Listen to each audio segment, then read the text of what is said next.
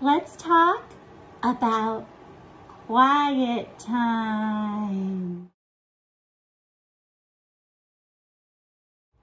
Hi everyone, it's Miss Jenny and me, Ruthie the Camel, your favorite four-year-old who is a camel. That was beautiful.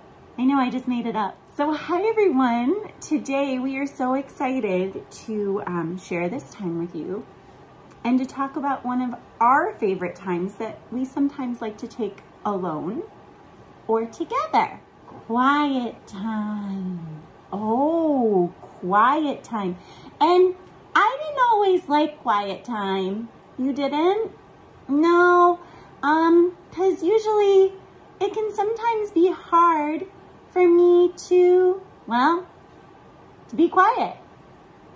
It can be hard for me to be quiet too, Ruthie. Really? Mm-hmm. It's not just a camel thing. Nope, it's a human thing too. Well, even though I wasn't sure about quiet time or having moments of silence, mm-hmm, I found that when I practiced it, yeah, that I found it really helpful. I found it to to help me feel better. Ruthie, one of the things that you mentioned that I really love mm -hmm, is you said practice, that quiet time is something you like to practice. Yeah. Why do you like that?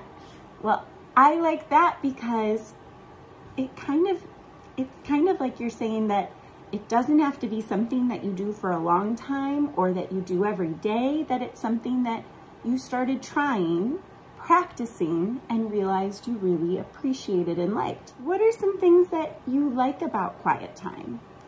Well, the things I like about quiet time is that it it helps me sometimes feel like I can manage feelings when my feelings feel really big.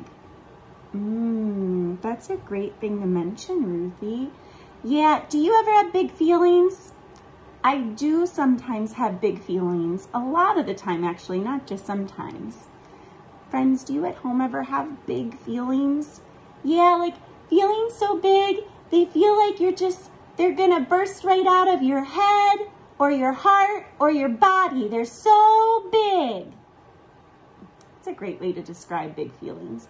Yeah, um, so I found quiet time helped me when my feelings felt big and sometimes a little overwhelming. Sometimes my feelings feeling full can feel like my tummy feeling full. And you find that quiet time can help you with that, some silence.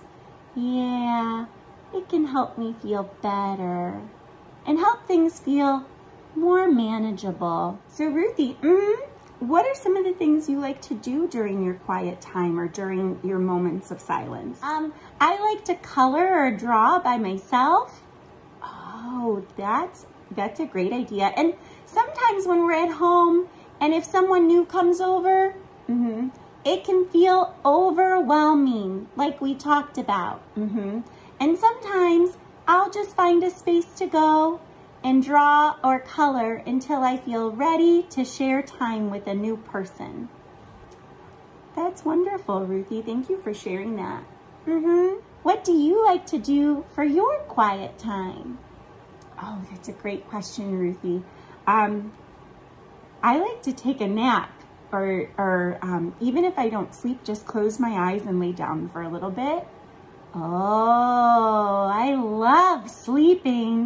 Me too. Um, I also find that water helps me for quiet time or silence time. So sometimes I might take a shower or a bath. Oh yeah, I like that too. I'd love to hear from all of you too. Is there anything you like to do by yourself that's quiet or having a moment of silence? Maybe yoga, or going on a walk. That's a good idea too, Ruthie. Well, we can't wait to hear from you, friends. Um, and we hope you find a little time for quiet throughout your day. Thanks, everybody. Bye.